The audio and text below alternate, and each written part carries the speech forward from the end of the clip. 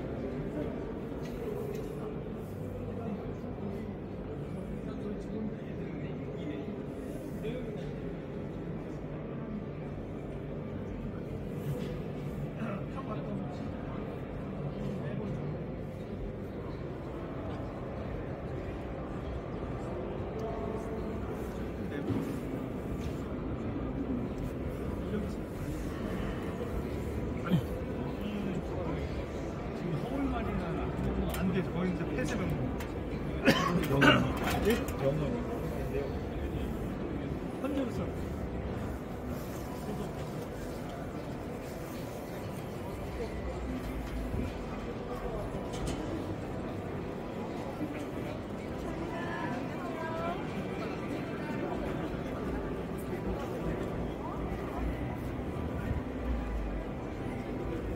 올라가도 되나? 신발만 벗고 올라가 주세요. 안에 있는 하나 예.